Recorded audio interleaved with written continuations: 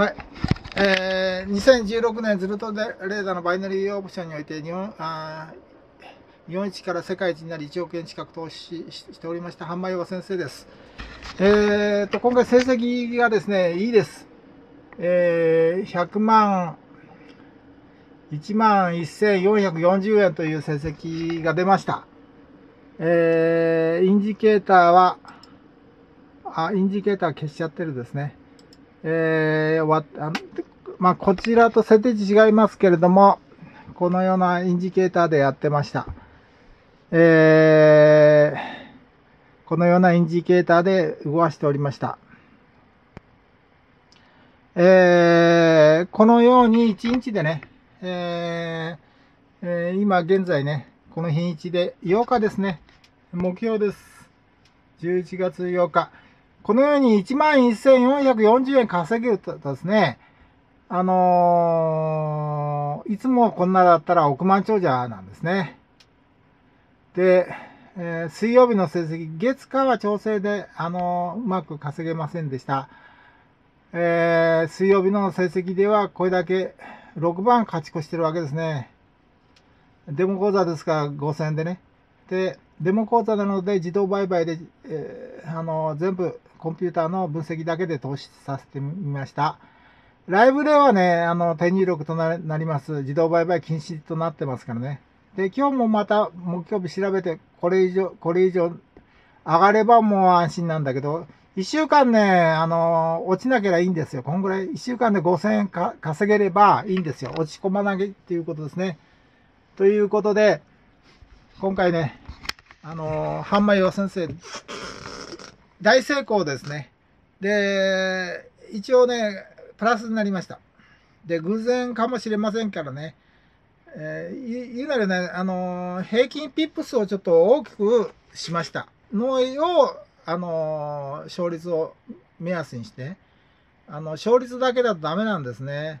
だから、平均ピップス、FX みたいに1回のね、あ、あの勝ち、勝ち抜けるね、幅、幅が高いのだけをね、分析しました。それで30個以上。だから4日間、3日間で30個以上投資するやつをね、で、65%以上、30個以上の投資数。ね。ということで、えー、なんだっけな、30ピップス、ね、以上のね、余裕がある、ね、勝ち、勝ち誇る平均でね、えー、ということで、あの、分析させて、投資させてみました。これで勝ち越しました。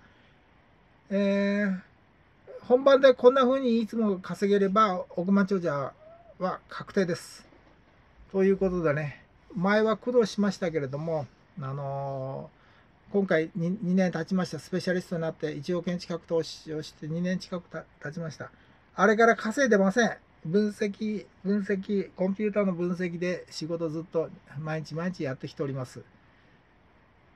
とうとう夢がかなり叶うでしょうか？前もこんな風に成績何回も来てます。それでずっと続かないようなことが起きております。今回もそうなのか。このまま続いてほしいということですね。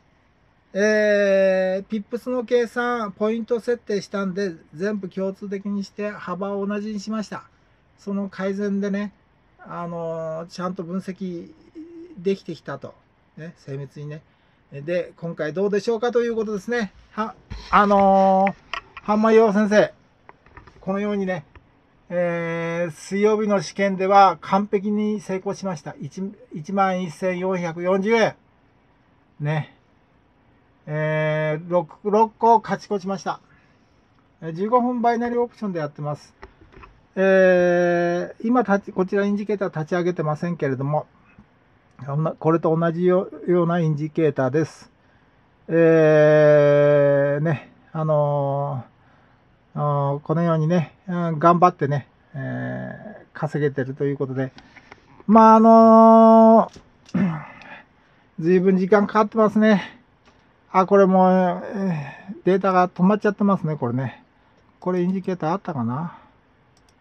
あった。これ止まってんですね。ね。